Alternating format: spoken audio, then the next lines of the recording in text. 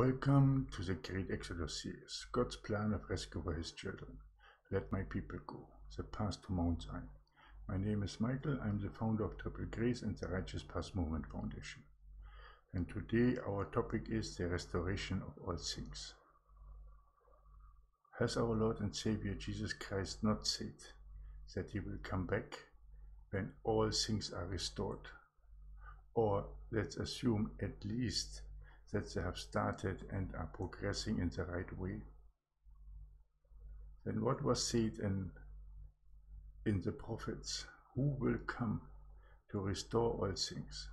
What has Jesus also said about that person? It is Elijah. Elijah will come before that great and terrible day of the Lord, and he will restore all things. So what does it mean? It remain, remain, means that things will be restored to its former glory. The altar, all that we are worshipping at, is in disarray, covered with sin. It will be restored to its former glory. I believe to the glory that it had in the book of Acts. And finally, as the multitude closed in white, where will be raptured into? To, into we will be raptured into paradise. That is also the restoration of all things, because it started with paradise, with Adam and Eve. And we will also enter paradise. There I am being rem reminded of the Alpha and the Omega, as it was in the beginning, so it will be in the end. The restoration of all things is now at hand.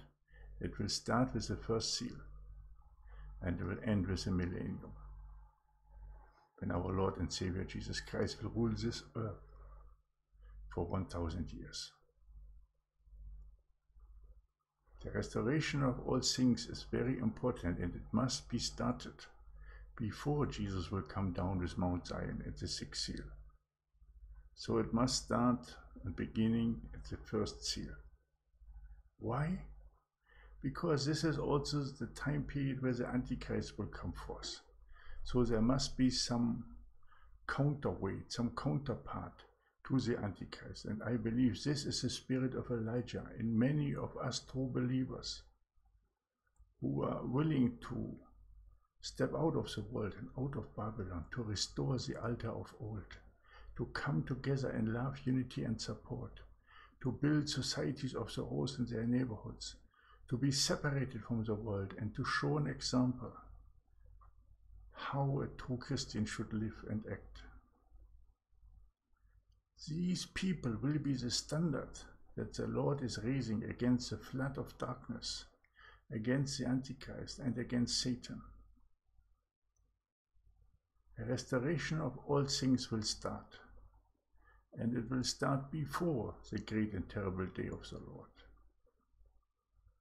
We have everything written in the Bible. And everything what is written in the Bible will be fulfilled. All prophecies there will be fulfilled. So walk with us that path towards the holy mountain and help us to restore the altar to its former glory. Become like an early Christian, full of zeal, with a love for the Lord and the love for the Father sharing resources, supporting one another, sharing love meals, coming together daily. Don't have to do that in a church. Do it in your houses or in your meeting places, in your neighborhood, and then go forth into that neighborhood and let your light shine by lifting up the needy, supporting the helpless, the children, the orphans, the widows. Show the light of the Lord into the nations become an elder, a state or national leader with triple grace in this great exodus. Follow the link in the pinned comment to see how you can become an elder, a state or national leader. If you're guided sow into the ministry of triple grace to help us that we can spread the messages to the whole world for all to see and that we can gather the people together with the helmet of salvation and the sword of the Spirit. Help us in our mission in Cambodia, not only to establish their societies of the rose, but also to help the children and the needy. Step out now. Be separated from the other lukewarm Christians that are around you. Step forward. Separate yourself from the world and from Babylon and commit yourself fully to the Father and abide in Jesus Christ. Repent and change your life completely.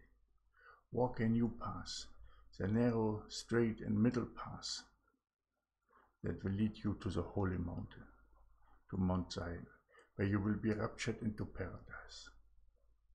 Be part of the multitude clothed in white. Step out now. Don't be afraid of the wilderness that might be there, because God will provide you with manna, with quails, and with hidden goodness.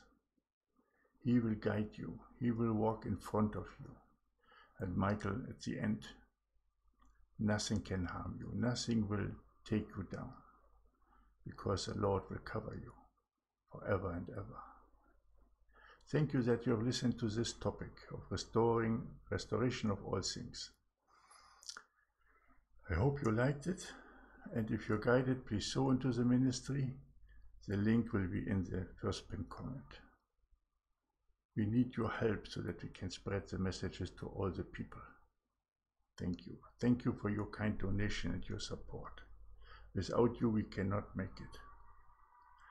I love you all so dearly, my brothers and sisters.